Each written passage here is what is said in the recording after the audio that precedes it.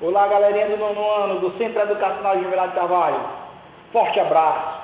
Prazer novamente estar aqui com vocês para a gente viajar, para a gente navegar no mundo da física. É sempre muito bom estar com vocês, mesmo virtualmente.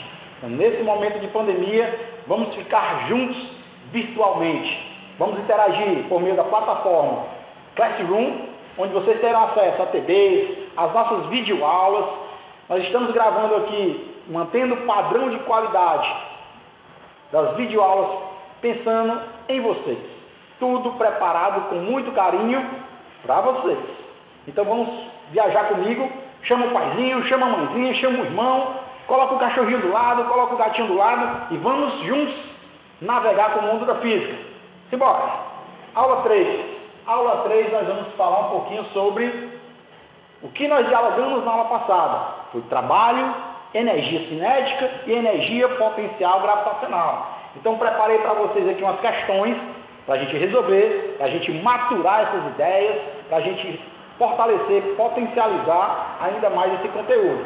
O nosso texto, tirado do nosso livro de referência, certo? E no final aqui eu trago um desafio, um desafio para vocês. Coloca o paizinho para participar, coloca a mãezinha para participar. Vamos lá, não esquece, dê um link, dê um like nosso vídeo que estamos postando para vocês aí no nosso canal do YouTube. Questão número 1. Um, livro texto da página 195. Diz o seguinte: Um bloco é colocado sobre uma mesa empurrado por uma força horizontal durante um certo tempo, deslocando-se 2,5 metros no sentido da força aplicada. Considerando que a restante da força vale 60 newtons, qual é o valor do trabalho realizado pela força? Queridos, vamos lá. Essa questão envolve a grandeza trabalho. Relembrando, professor, o trabalho quem é? É a relação entre a força e o deslocamento. Lembrando, só existe trabalho, ou só existirá trabalho, se houver deslocamento. Não esqueça. Outro detalhe importante, pode até estar se desprendendo energia em um corpo, mas se não houver deslocamento, não tem trabalho, hein? Os dados extraídos da questão. Rapazinho deu para a gente o espaço percorrido, deslocamento, 2,5 metros, a força aplicada, 60 newtons. A gente quer o trabalho. Lembrando também que a unidade de trabalho no sistema internacional é o joule. Se escreve joule, se pronuncia joule. Não esqueça. Trabalho, força vezes deslocamento. No lugar da força, põe 60. No lugar do deslocamento, põe 2,5. Multiplicando 60 vezes 2,5, nós vamos ter um trabalho de 150 joules. É o trabalho realizado aqui no bloco.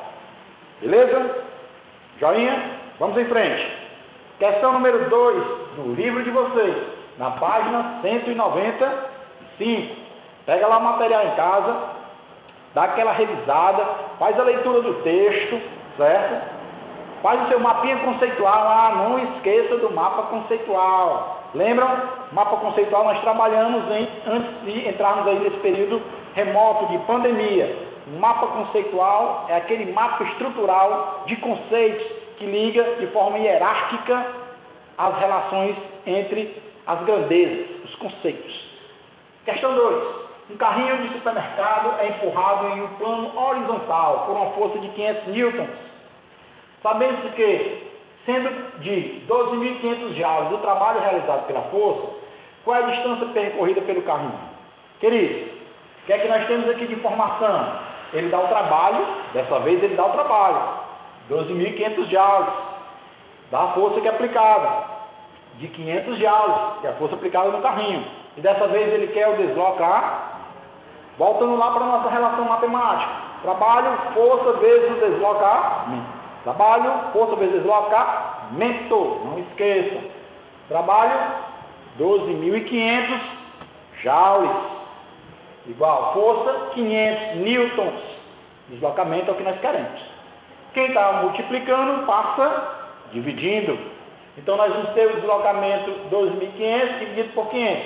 Então esse carrinho de supermercado deslocou-se 25 metros e, para tanto, houve um desprendimento de 12.500 joules de energia. Resposta: 25 metros. Beleza? Vamos em frente. Trago para vocês agora a questão 6, também do nosso livro de referência. Seguinte, está na página 195.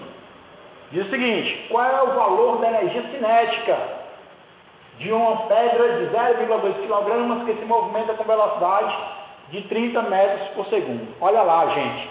Não esqueça, falou de energia cinética, vem logo na cabecinha a palavra movimento. Ouvi vocês falando dentro de casa, hein? Ouvi o papai, ouvi a mamãe e ouvi você e seu irmão. Falando em movimento. Show! Energia cinética, movimento. O cara diz isso pra gente, dá massa, que é de 0,2, e dá a velocidade. Pede essa energia. Relembrando, a energia cinética é a massa vezes a velocidade ao quadrado dividido por 2. Lugar da massa, 0,2. Velocidade, 30 Bota lá 30 ao quadrado, dividido por 2.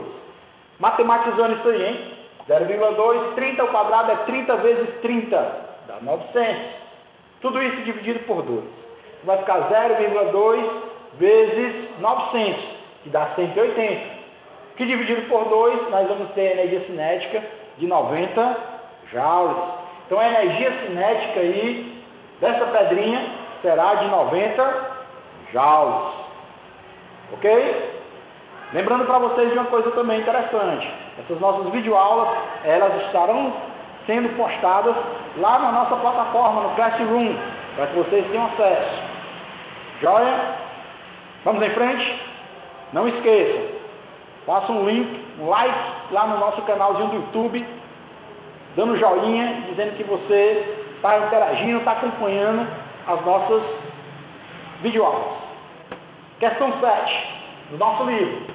Também está na página 195. Um bloco de ferro de massa 5 kg é mantido suspenso a 4 metros de altura. Olha, falou em altura, professor. Falou em altura, eu lembro de energia potencial gravitacional. Show! Nessa situação, que tipo de energia o bloco apresenta? E qual o valor dessa energia? Então não tem mistério. Falou em altura, falou em gravidade, energia potencial gravitacional. É o tipo de energia que está sendo envolvida na questão. E como é que eu calculo? Matematicamente, é o produto da massa vezes a gravidade vezes a altura. A massa foi informada na questão, 5 kg. A altura, 4 metros. Energia potencial é o que nós queremos. E a gravidade? Já que está na superfície da Terra, gravidade 10. Show, ouvi, ouvi o paizinho falando 10 aí, ó. 10, nota 10, aula 10, aula show. Vamos em frente. Energia potencial gravitacional, massa 5, gravidade 10, altura 4. 5 vezes 10, 50, 50 vezes 4, quanto que é, menino? Ouvido aí, 200, show. 200 joules, que é o valor da nossa energia potencial gravitacional. Joinha? Nosso desafio, para nós fecharmos aqui essa nossa aula de hoje, com essa questão desafio. Questão desafio de cara aqui já dá para perceber que eu vou cobrar de vocês a energia mecânica. Ah, professor, energia mecânica eu já lembro. Envolve a cinética, envolve a potencial. Vou só somar, juntar as duas. É isso mesmo. Bora lá. Observe a figura abaixo, determine o valor da energia mecânica armazenada na bola de altura 3 metros, aqui na bolinha, ó, a altura 3 metros, sabendo que a bola Sabendo que nesse ponto a bola tem massa de 2 kg e velocidade de 8 metros por segundo. Então vamos lá, o garotinho dá um chute na bola, realizando movimento oblíquo, olha lá, física, movimento oblíquo. A atuação dele aqui de quem é, queridos? Gravidade. Show, ouvido aí, hein? Ouviu o paizinho falar? Gravidade, memoriza. Então, energia mecânica, cinética mais potencial gravitacional. Matematizando aqui, ó, vamos colocar aqui as informações. No lugar da massa, eu ponho, ponho quanto? 2. Velocidade da bolinha aqui nesse ponto, 8. 8 ao quadrado. Dividido por 2, mais. A massa, 2. Gravidade, 10. Já sabem, hein? Superfície da Terra. Força gravitacional. Gravidade, 10. 10 metros por segundo ao quadrado. A altura, essa alturazinha aqui, ó. 3. 3 metros. Então vamos matematizar. 8 ao quadrado, 64. 2 vezes 64, 128, que dividido por 2, 64. Mais 60. Então, a energia mecânica, a energia cinética, 64, mais a energia potencial gravitacional, 60. Somando as duas, 124 joules. Joinha? 124 joules é energia justamente armazenada nessa bolinha aqui, ó. Nesse ponto onde ela está a essa determinada altura. Então, não esqueça, falou energia mecânica, lembra, energia cinética mais energia potencial gravitacional.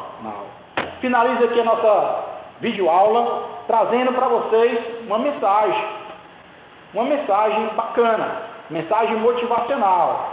Não esqueça que o que mais precisamos nesse momento é estarmos motivados, é estarmos entusiasmados, é estarmos de bem, fisicamente e mentalmente. Não esqueça, fisicamente e mentalmente. Estar nessa quarentena não é fácil, mas vamos pensar pelo lado positivo. Você está de quarentena do lado das pessoas que vocês mais gostam. Quer teu pai, quer tua mãe, quer teu irmão, quer teu tio, tua tia, tua avó, teu cachorrinho, certo? Então isso aí faz bem, faz bem para, para o nosso emocional. Isso é importante. Todo esforço tem sua recompensa. Não esqueça, vocês estão de quarentena, estão em casa, mas não estão de férias. Venham para as aulas, venham curtir aqui as nossas videoaulas, venham viajar no mundo da física. Plataforma Classroom, TD está lá no Classroom, nossa videoaula lá dentro da plataforma Classroom. Fica com Deus, um forte abraço para você e para sua família.